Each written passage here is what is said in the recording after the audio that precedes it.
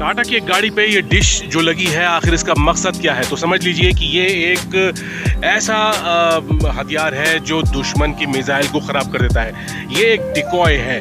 ये मिज़ाइल के जो ठिकाने होते हैं, जहाँ पर एंटी रेडिएशन मिज़ाइल दागी जाती हैं, उसके आसपास इसको तैनात कर दिया जाता है और ये दुश्मन की मिज़ाइल की तरफ़ ऐसे सिग्नल भेजता है जिससे वो भटक जाती हैं और वो इसको हिट करती हैं।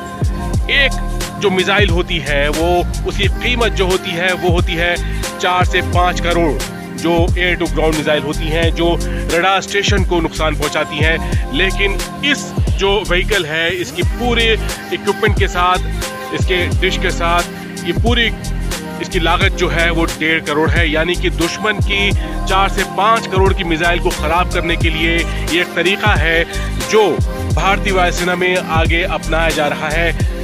ये जो हथियार है या एक फेक रडार स्टेशन है, वो भूमि नाम की कंपनी ने तैयार किया है और अब इसे लेकर टेस्टिंग भी पूरी हो चुकी है।